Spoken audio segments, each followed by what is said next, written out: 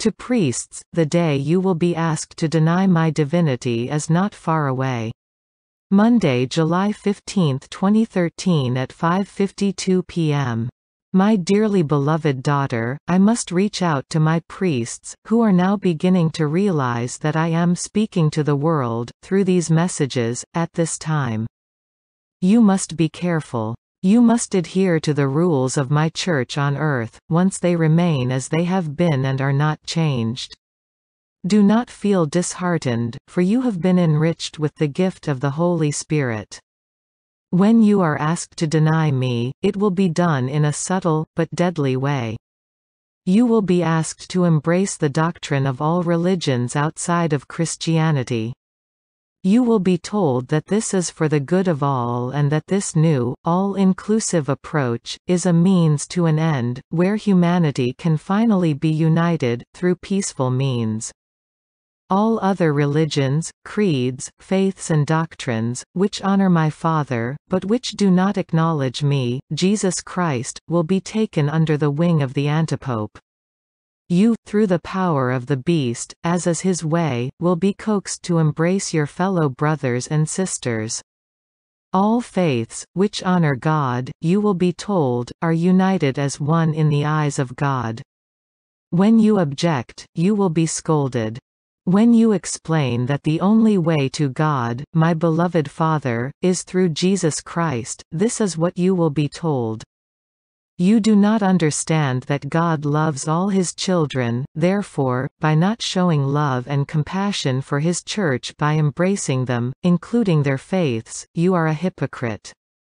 Now, know this. When you accept that all religions must be embraced as one, that you have to move to one side to show respect to those creeds, which do not acknowledge the Son of Man, then you will be guilty of a terrible sin. You will then be denying me. To those who may be led into this deceit, know that other signs will emerge, which point to one thing, my divinity will no longer be proclaimed. Your churches will see new crosses emerge where the head of the beast will be embedded within them, your altars will be changed and will mock me. Every time you see new and unusual symbols in my church, look carefully because the beast is arrogant and he flaunts his wickedness by displaying signs which honor him. Those amongst you, who are not alert to this deceit, will find yourselves sucked into practices which do not honor me. They will disguise the true intent, which will be to pay homage to Satan and his wicked spirits. The signs have begun. The actions I speak of are still to come, but the day you will be asked to deny my divinity is not far away. You must keep your eyes open for those who say they come in my name, but who instead honor the beast, for they have already spread their wings. They rule within your midst, but so many of you cannot see the abomination, yet. But, if you love me, I will grant you the graces to see the truth, for I will never forsake you.